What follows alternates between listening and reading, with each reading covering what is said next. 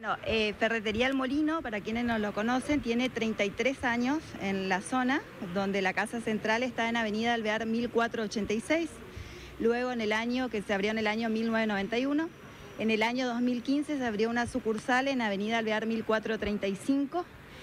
Y este año, el 5 de junio, abrimos esta sucursal en ruta 11, kilómetro 1015 y medio. Eh, sí, lo que es la parte metalúrgica, donde se va a abrir la parte industrial, es con ayuda del Banco de la Nación Argentina y el Ministerio de la Producción, que es lo que vamos a terminar de sellar con ellos, todo lo que es la compra de las máquinas. Y calculamos cinco meses y todo va bien. Cinco meses, seis meses más tardar.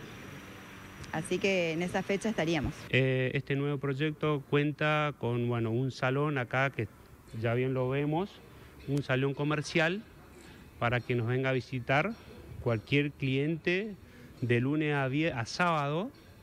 Estamos horario corrido em, de 9 de la mañana a 18 horas. Lo segundo, de una segunda nave, que ahí precisamente estamos queriendo conformar eh, la parte metalúrgica nuestra.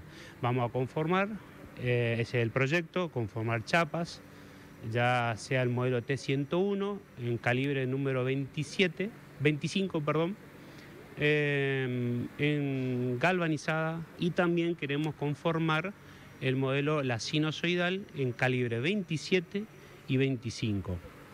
Eh, a su vez también a un lateral de uno de los laterales de la, nave también va a estar una conformadora de perfil C.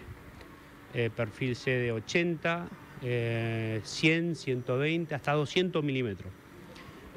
Hasta en 2 milímetros también, de 1,6 y 2 milímetros de espesor. Y tanto Sebastián como el gobernador nos dio un empujoncito, nos dio una mano en, el proyecto, la cual hoy la nómina del, personal es 21. En esta sucursal donde estamos hoy hay solamente 5 operarios, ¿no es cierto?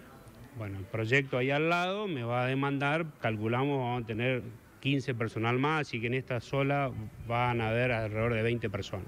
Estamos junto al gobernador eh, visitando las nuevas instalaciones de la empresa El Molino, una empresa dedicada al abastecimiento de herramientas, de materiales para la construcción, de distintos tipos de maquinarias y que eh, proyecta comenzar su primer eslabón industrial no solo este nuevo establecimiento que ya les demanda proyectado con las nuevas instalaciones una inversión superior a los 500 millones de pesos, que va a implicar también incorporar 15 nuevos trabajadores.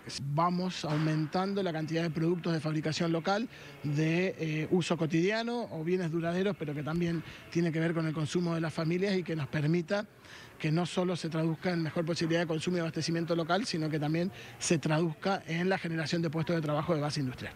La empresa El Molino tiene una trayectoria de 31 años, es una empresa de carácter familiar que tiene 21 empleos, tiene un programa eh, de expansión eh, en el número de empleos y acá hay 3.685 metros cuadrados de construcción a la vera de la ruta 11, son tres locales, en general son casi 5.000 metros cuadrados. Esto es una inversión de 530 millones de pesos y lo más importante es que tiene toda una metodología y una modalidad de comercialización de eh, productos varios vinculados a la industria de la construcción, pero acá también van a poner toda una planta de industria metalúrgica. Gran parte de este esquema lo han hecho con financiamiento propio a través de capitalización de utilidades. Nosotros estamos para eh, apoyar a través del Fondo de Desarrollo Industrial las inversiones de carácter complementario y obviamente la incorporación de bienes de capital. Pero lo que es interesante es que estamos ante un inminente crecimiento sostenido de, la, de base industrial porque muchos de los proyectos que venimos trabajando con financiamiento y que están madurando ahora van a explotar claramente en el año 2023 con la incorporación de personal. Eh, acá hay una directa relación entre los incentivos a la industria de la construcción, tanto pública como privada. La industria de la construcción es un motor de crecimiento y ese motor de crecimiento derrama. Entonces derrama en estas empresas, en pequeñas, medianas empresas, emprendedores y obviamente anima eh, por el crecimiento sostenido a generar más inversiones y eso es bueno.